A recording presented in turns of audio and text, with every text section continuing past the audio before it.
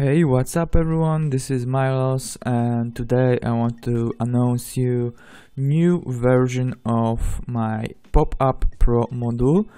As you can see, I'm in PrestaShop 1.7 and this means that my module works with PrestaShop 1.7 well.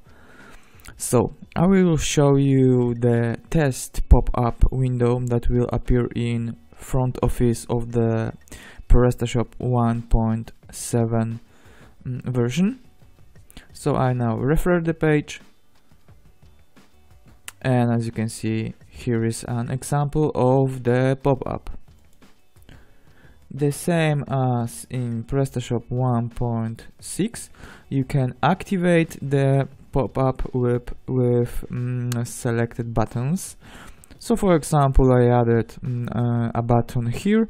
If I will click on it, my module will spawn a pop-up. Let's take a look how it works. Here it is.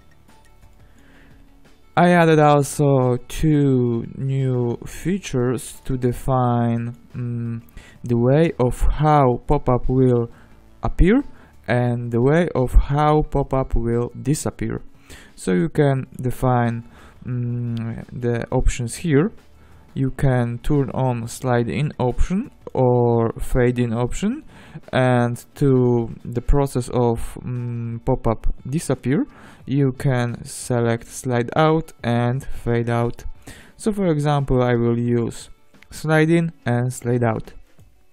If I will save settings I will see changes immediately if I will click on this button or if I will refresh the page. So take a look.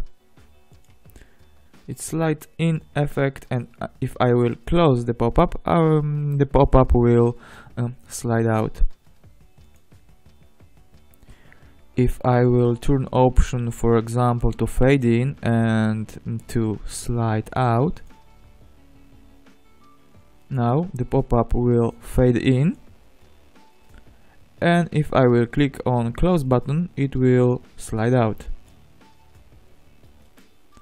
it works the same if I will, for example, use option to fade out. So, fade in effect and if I will click on close button, fade out. Okay, we've got some questions related to module and how it works in PrestaShop 1.7. Feel free to comment this video or write to support mypresta.eu. Thanks.